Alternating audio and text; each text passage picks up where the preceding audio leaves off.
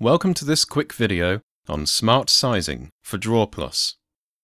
Smart Sizing allows you to resize multiple objects without changing their relative positions. This comes in useful, for example, with flowcharts or diagrams. If we select item 1 and item 2 and resize them normally, we will actually change their positions as well. Now, if we enable Smart Sizing from the Context toolbar, then resize them, we will notice they are resized relative to their original positions. Once we release the mouse button, the connectors joining the boxes will update. We can also activate Smart Sizing by holding down the Alt modifier before attempting a normal resize.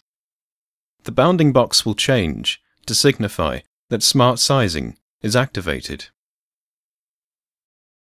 You can also rotate with Smart Sizing.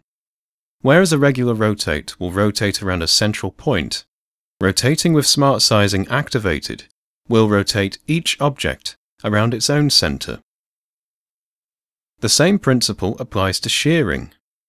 Whilst shearing normally will move the objects relative to the first item, shearing with Smart Sizing will shear each object whilst maintaining their positions.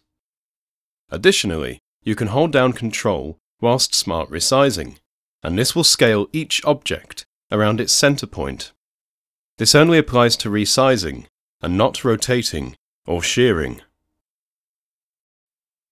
Finally, to demonstrate the versatility of this feature, we can combine scaling, rotation, and shearing to take several chevrons and create a unique looking image with them. That's all for this video. For more information, see the Learn section of the Startup Assistant. Thank you for watching.